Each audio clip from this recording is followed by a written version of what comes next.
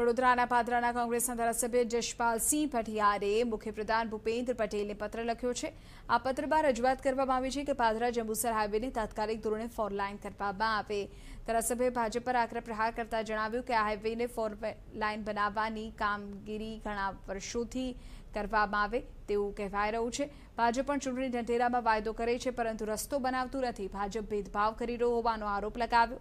કહ્યું કે એટલે તેઓએ મુખ્યપ્રધાને પત્ર લખી એક મહિનામાં હાઈવેને મંજૂરી આપવાની વાત કરી છે. સાથે ચમકી ઉચ્ચારી છે કે જો એક મહિનામાં પરિણામ નહીં મળે તો હાઈવેને ચક્કાજામ કરવામાં આવશે. એટલે આ વખતે આ મુદ્દાને ચૂંટણીલક્ષી ભારતીય જનતા પાર્ટીને બનાવવા નહીં દઈએ અને આ ફરીથી મેં અગાઉ હમણાં પણ પૂર્વ માર્ગ મકાન મંત્રીને પણ લખ્યું છે. હમણાં હમણાં નવા માર્ગ મકાન મંત્રી માનનીય પુરેશ મોદીને પણ આ બાબતથી અવગત કર્યા છે. પરંતુ હજુ સુધી કોઈ નિકાલ ન આવતા આજે મુખ્યમંત્રીશ્રીને પત્ર લખ્યો છે કે પાદરા જંબુસર રોડને તાત્કાલિક ધોરણે મંજૂર કરવામાં આવે. જો એ એક એક મહિનાની અંદર એ રોડની મંજૂરી નહીં આવે, તો પાદરાની જનતાને સાથે રાખીને આ રોડ પર માટે આંદોલન કરવામાં આવશે.